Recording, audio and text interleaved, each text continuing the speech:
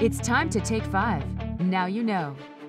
This week, in our special Time to Care holiday series, we are featuring homeless dogs with one of the area's largest dog rescue organizations, Big Dog Ranch Rescue. Joining us today is attorney Karen Terry of the law firm of Searcy Denny, along with Christopher Kraus, the CEO of Big Dog Ranch Rescue. Welcome to you both. Thank you. Karen, can you tell us a little bit about your interest in this nonprofit organization? Being a dog lover my whole life, I'm very interested in all dog rescue organizations, but particularly Big Dog Ranch. It is a state of the art facility, and it is the largest cage free, no kill facility in the country.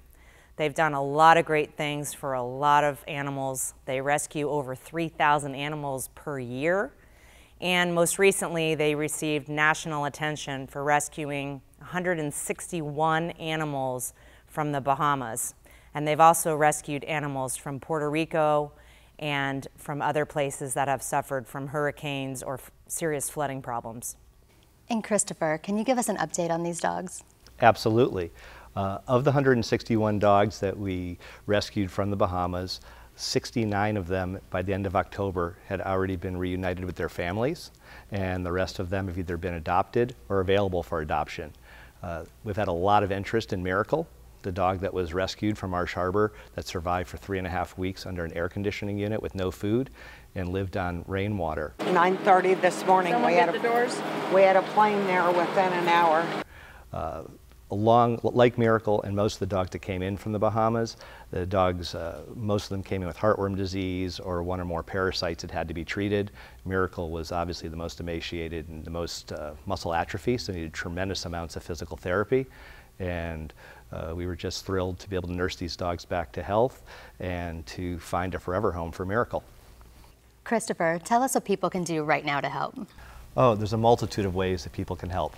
Uh, number one is adopting a dog. We all in the rescue business like to say adopt, don't shop. And I have two wonderful dogs here from the Bahamas. This is Penny, who's nine months old. We have Rambo Jack, who's seven months old. Both of them are spayed and neutered and vaccinated now and uh, well on their road to recovery and they're looking for forever homes. We have over 600 dogs at the ranch uh, ready for adoption. Oop, Rambo Jack is looking for a treat. Um, and if you don't adopt one of the dogs from the Bahamas, we have several dozen of them available. All the dogs you rescue make room for other dogs to come in. Our dogs are all last day dogs. So if any dog you bring home or you foster uh, makes room for another loving pet. We uh, always need volunteers. We couldn't survive without our volunteers. We need fosters. Uh, it helps us, our first responder fosters, to take litters um, of dogs or just one uh, or two. Uh, fosters are always needed. Uh, we survive on philanthropic donations, so anybody who wants to donate can visit our website in addition to financial donations to support our rescue efforts and the supplies that we're sending to the Bahamas and the medicines and vehicles and helping rebuild uh, the shelter there.